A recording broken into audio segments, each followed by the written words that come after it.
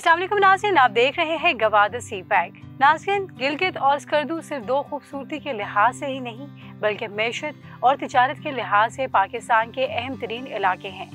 क्योंकि ये दुनिया के अहम तरीन इलाकों के साथ मिले हुए हैं। मिसाल के तौर पर, गिलगित बल्तिस्तान के शुमाल मगरब में अफ़गानिस्तान की वाखान की पट्टी है, जो गिलगित बल्तिस्तान को ताजकिस्तान से अलग कर देती है। जबकि शुमाल मशरक में चीन के मुस्लिम अक्सरीती सूबे संख्यांग का इलाका है। लेकिन इस कदर अहमियत के बावजूद यहाँ सड़कों का फुकदान है। सी पैक के तहत बहुत से मनसूबे बने और मुकम्मल हुए। और मज़ेदार बात यह है कि अब एक और अहम तरीन रोड, स्कर्दू गिलगित रोड पाकिस्तान में धूम मचाने को तैयार है, जो इन इलाके की मैशत को बदल देने के मुतरद है। ये रोड 2017 में शुरू हुआ। बल्दिस्तान के 10 लाख नफूस की आबादी की शहरा की हामिल ये शहरा यहाँ आवाम की ज़िंदगी और मौत का मसला करार दे रही है।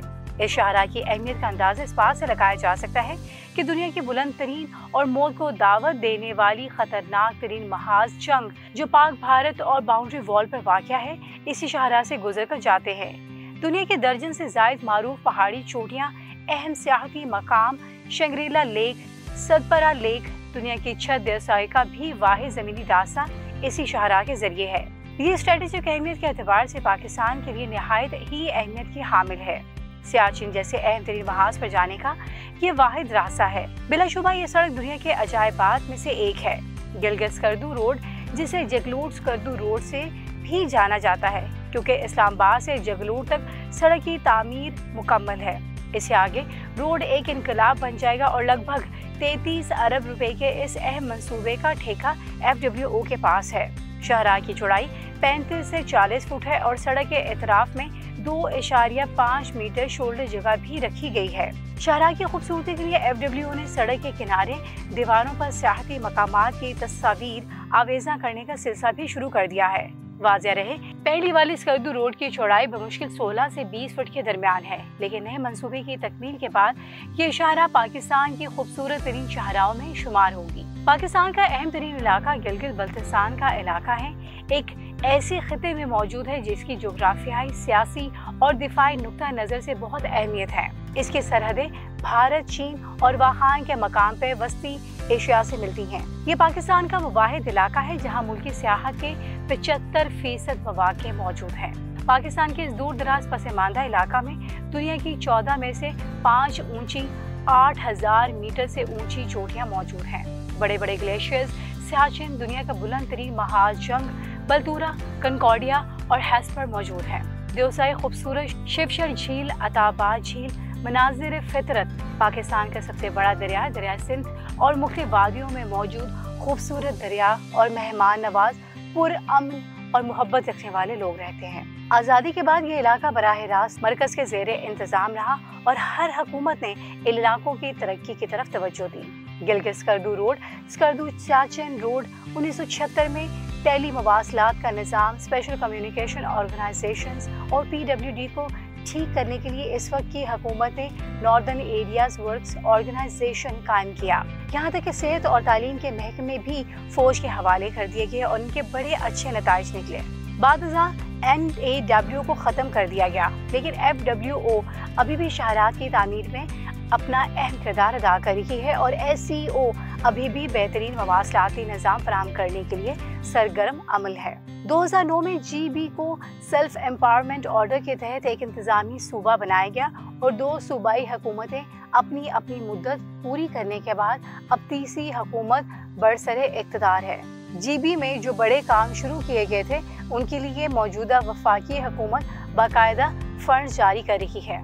इसके नतीजे में जगलूट, स्कर्दू रोड पाए तकमील को पहुँची और अब गिलगित और स्कर्दू के दरमियान का सफ़र पाँच घंटे से कम होकर तीन घंटे का रह गया है। बल्तिस्तान के आवाम के लिए इस सड़क की तमीर का काम ज़िंदगी और मौत का मसला है।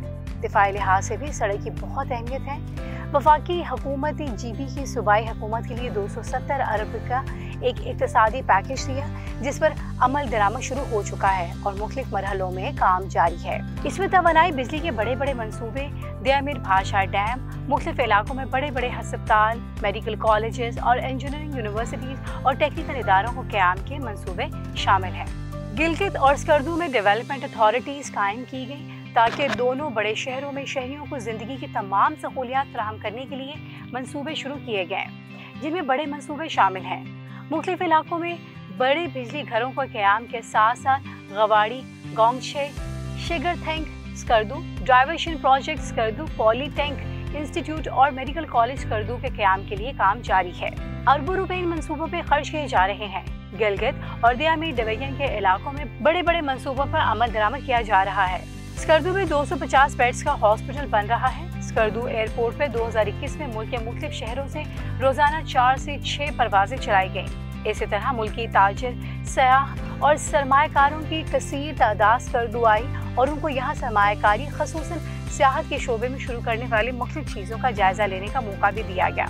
वज़ीर अजम पाकिस्तान ने स्कर्दू को पाकिस्तान का सियाहती दारकूमत करार दिया और 16 दिसंबर 2021 को वज़ीर अजम इमरान खान ने स्कर्दू के दौरे के वक्त स्कर्दू इंटरनेशनल एयरपोर्ट का बाकायदा अफ्ताह भी किया।